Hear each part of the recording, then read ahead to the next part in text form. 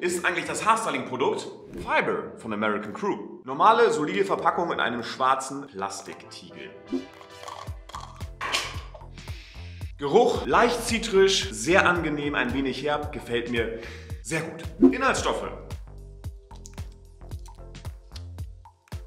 50% der Inhaltsstoffe sind gut, die anderen 50% leider nicht. Claim von der Firma, ein geschmeidiges Produkt mit hohem Halt und leichtem Schein. Ob das wirklich stimmt? Let's see. Meine Haare aktuell ungestylt.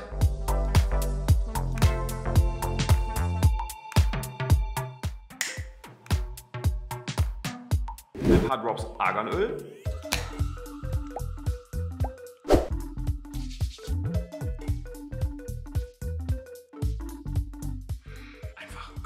Weiter geht's mit Fiber. Die Konsistenz des Produktes. Leicht cremig, dennoch sehr wachsartig. Lässt sich sehr gut in den Händen verteilen. Es muss aber schon ein wenig aufgewärmt werden, bevor man das Produkt aufträgt.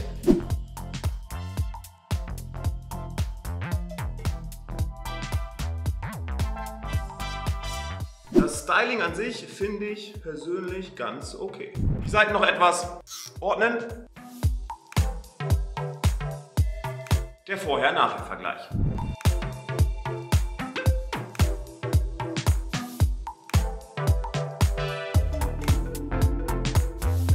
Kommen wir zum Halt. Es ist nicht das drin, was draufsteht. High Hold steht drauf, aber man muss sagen, es ist eher ein Light Hold, also ein leichter Halt. Kommen wir zum Finish. Wenig Schein im Finish ist allerdings korrekt. Wie sieht es mit der Austauschbarkeit des Produktes aus? Fiber von American Crew lässt sich gut aus den Haaren rauswaschen und ihr erhaltet 85 Gramm von American Crew Fiber für 12 Euro. Kann ich das Produkt weiterempfehlen und für wen ist das Produkt geeignet? Ja, das Produkt kann man schon weiterempfehlen, aber das Produkt ist vorwiegend für die Leute geeignet, die sehr feines und dünnes Haar haben und grundsätzlich einfach mehr Textur in ihren Haaren haben wollen. Und für die ein leichter Halt zufriedenstellend ist, ein leichter Schein auch in Ordnung ist, sowie die Inhaltsstoffe eher zweitrangig sind. Fiber von American Crew erhält 40 von möglichen 50 Punkten. Link zum Produkt findet ihr wie immer unten in der Infobox. Und jetzt viel Spaß beim Haarstylen.